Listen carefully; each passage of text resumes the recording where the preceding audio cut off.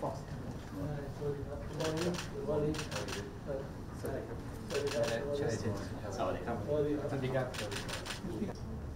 love your country. Thank you. Yeah. Are planning to move the regional office there? We already have, we already have regional yeah. offices based in Thailand. The triangles in the south. Yeah.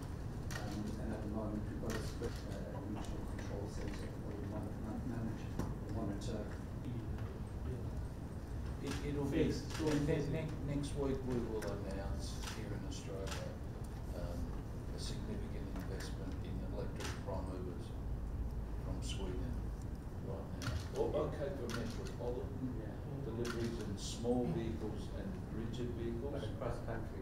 Cross countries, hydrogen is definitely a- an alternative. Um, Mercedes and Volvo have, that is like a generator Generator. that keeps the current up to the, and it's probably eight to ten years away.